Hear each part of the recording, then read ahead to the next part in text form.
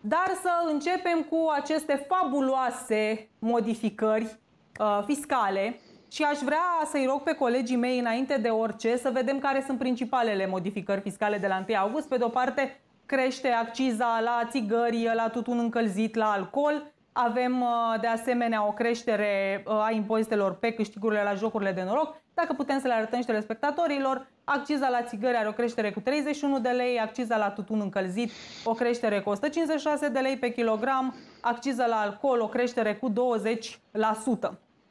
De asemenea, în ceea ce privește impozitarea jocurilor de noroc, uh, există creșteri așa, în praguri, da?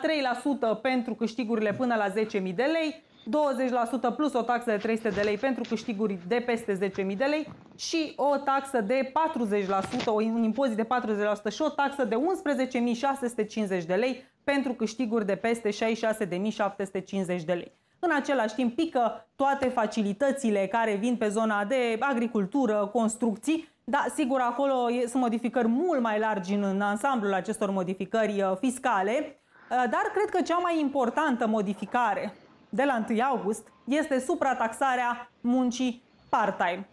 Această măsură a mai existat, așa cum vă spuneam, și n-a dat roade altele decât închiderea contractelor de muncă. Și aș vrea să înțeleg de ce s-au ținut atât de puternic de această măsură cei de la PSD și cei de la PNL au aplaudat, cei de la UDMR nu știu dacă au înțeles, că nu știu dacă le-a spus Victor Orban cum e cu măsura asta, ei încă nu comentează nimic.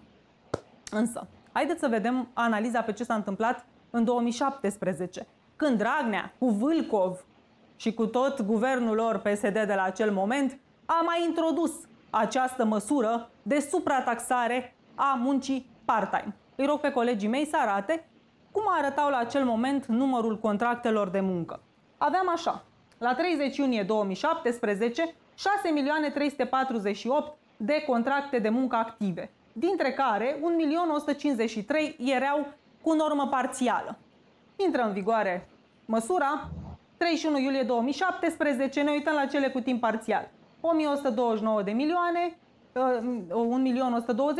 la cele uh, contracte totale de muncă active 6.366.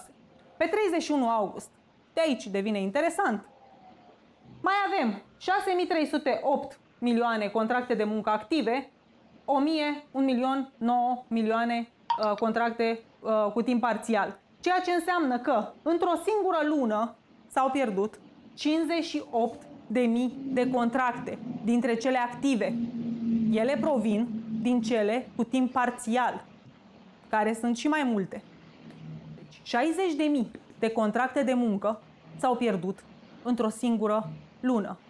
Adrian Negrescu. Da, și probabil impactul acum va fi și mai mare, pentru că față de dezvoltarea economică de la vremea respectivă, acum lucrurile arătau mult uh, diferit. Acum sunt 1,1 milioane de contracte de muncă, din, apro- din care aproape jumătate sunt contracte cu um, care nu au în spate o plată de taxe integrală. Deci sunt contracte afectate uh, de, de această supraimpozitare. Deci probabil vom avea mai mult. Eu, eu estimez undeva la între 200 și 300 de mii de contracte. Le vom vedea cât de curând în revisal, să le vedem exact, care vor fi afectate de, acest, uh, de această decizie. Uh, dincolo de, de femeile de serviciu, cazul prezentat de cam de toată lumea, vă mai dau un exemplu foarte concret. Cazul mamelor, cele, cei care, femeile care stau cu copii acasă și care își permiteau să se ducă la serviciu două, trei ore maxim pe zi. Ei, și pentru acele doamne um, va interveni această problemă și probabil vor rămâne fără acele locuri de muncă parțiale pe care le aveau. Uh, e o decizie fără cap și coadă, fără un studiu de impact, iar ceea ce prezinți tu, Ioana, e concret, sunt date concrete pe care probabil autoritățile nu le-au luat, nu le-au luat în calcul atunci. Dar mai sunt niște date decizii. concrete. Adrian Negrescu și domnule Adrian Izvoranu avem așa, dacă lucrez două ore, da? Timp parțial și rămân la două ore, nu mă trec la 8 ore, da? Rămân la două ore și trebuie să plătesc integral aceste contribuții, da?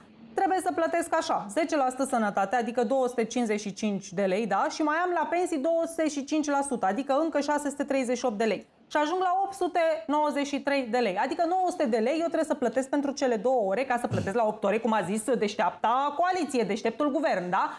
Problema e că mie îmi rămân în mână aproximativ 700 de lei. Deci eu trebuie să vin cu bani de acasă.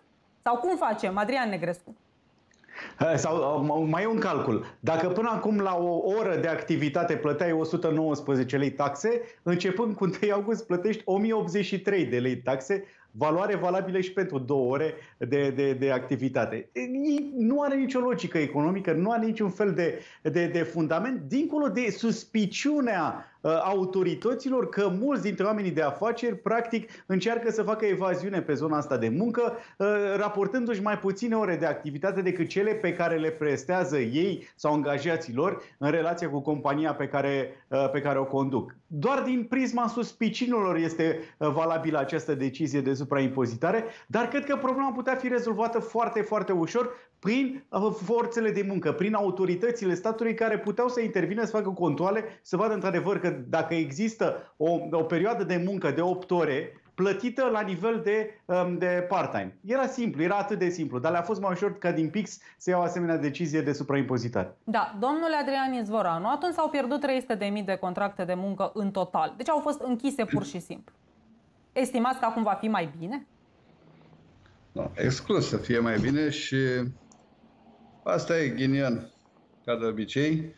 Ehm, așa cum spunea uh, colegul de platou, uh, dacă nu sunt în stare să controleze, cu toate că, repet încă o dată, am mai spus treaba asta și când s-a mai luat măsura asta data trecută, uh, domnule, cineva care apelează la chestia asta este în nevoie de a o face. Ehm, gândiți-vă că discutăm mereu și spunem că taxarea muncii este exagerată în România adevărul ăsta nu discută nimeni și nu, nu-l rezolvă nimeni. Da?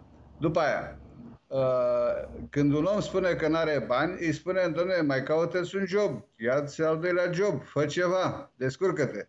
Acum omul va spune exact cum bine ați calculat mai devreme, păi mă costă mai mult să pot avea locul de muncă decât să câștig ceva din locul de muncă. Oricum, acel loc de muncă care ar fi trebuit să mă ajute să ies din uh, situația ingrată a crizei, Uh, nu face decât să mă îngroape în, uh, în, în, în datorii. Da. Deci uh, treaba asta nu are logică, treaba asta nu are suport economic, iar treaba asta, din punctul meu de vedere, este și profund ilegală, pentru că uh, sunt pus să plătesc ceva ce nu consum, sunt pus să dau niște bani pe ceva ce nu, nu, mi, se, nu mi se servește. Exact. Am văzut Trebuie de asta astăzi... Trei a publicat uh, Consiliul Național al Întreprinderilor Private Mici și Mijlocii un uh, studiu.